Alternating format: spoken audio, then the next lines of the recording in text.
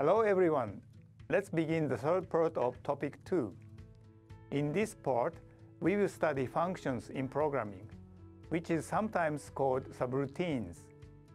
Then, as a summary of the programming techniques we have studied, let's try our hand at cryptanalysis. We in fact make a program in a practice exercise. We start with functions in programming.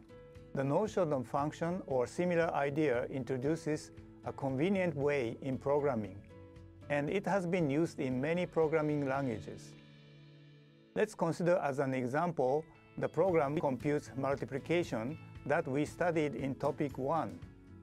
This is the program that computes multiplication.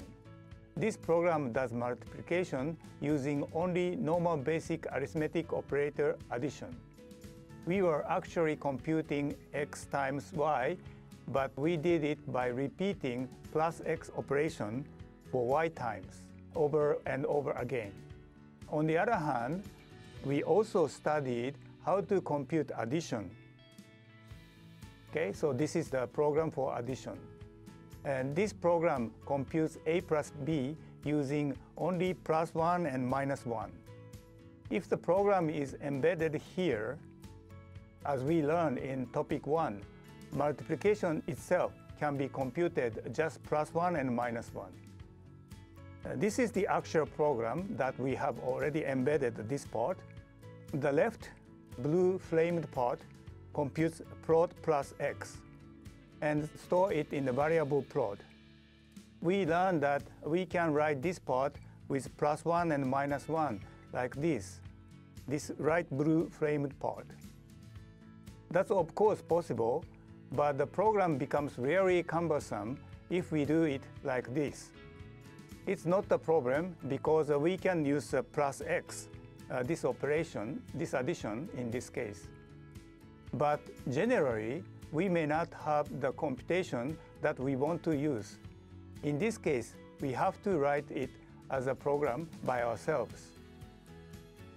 However, this program is embedded without change, the whole program becomes very cumbersome, like this.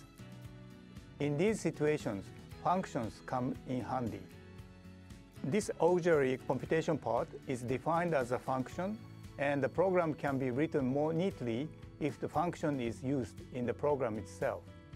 That is how to use what are called functions in programming. For example, let's consider this example.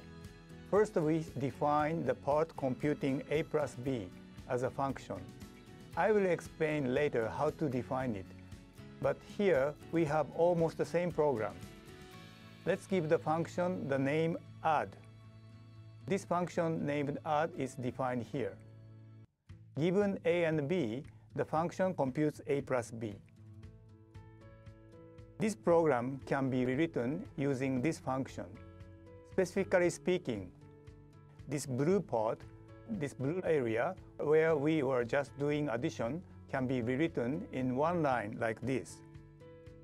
This statement orders the computers to compute prod plus x uh, using the function add and store it to prod.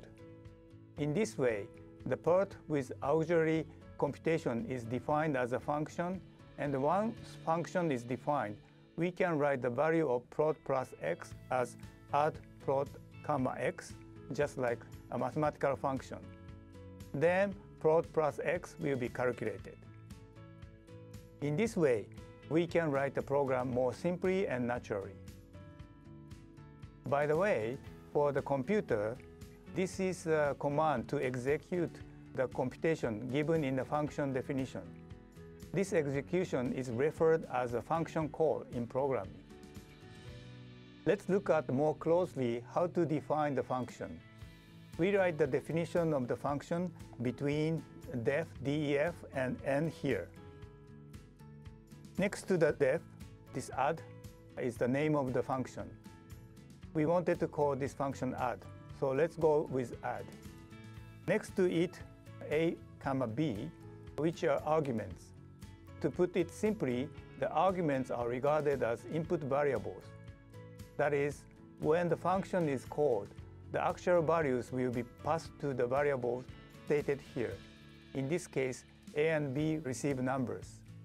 For example, here, if we write add prod comma x like this, the value of prod and the value of x are stored in a and b, respectively, and the computation stated here is executed.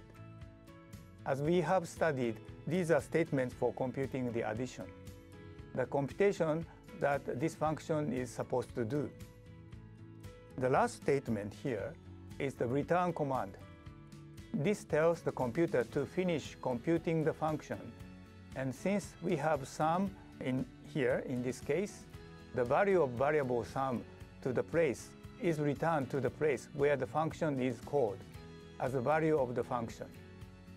By the way, this return command can be placed at various positions within the range of function definition. As soon as the execution reaches this command, the computation of the function is terminated. After the function definition, the rest of the program can be written as before, while you can now use the defined function. For example, you can write add prod comma x in the arithmetic expression like this. This calls the function add, and after its computation, the value of the function should be prod plus x, of course, if the function is correctly defined, is passed here.